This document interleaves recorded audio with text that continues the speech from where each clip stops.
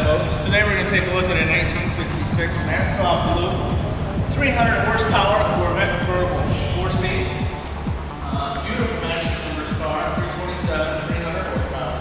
It is the correct code paint, it's supposed to be a Nassau Blue car with black interior, and it has a teak wheel and a leather interior. And as you can tell from the uh, here, the uh, chrome is in excellent shape, and the paint is in very good shape.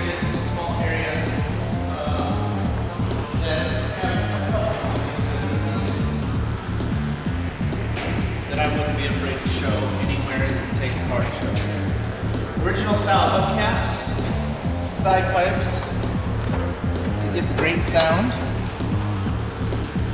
You have the spark plug shielding, very original. The shielding for the radio, Harrison overflow, has a nice red top Optima battery to it.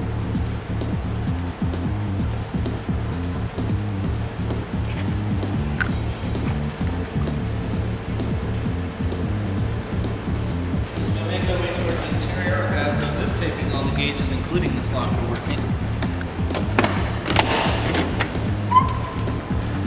And a vinyl black top is in excellent shape as well. Blue mid-year Corvette. Holland 770-605-2056. Or email John, schedule showing and driving, and we'll have some fun here at that looking at the over 150 Corvettes we have in stock.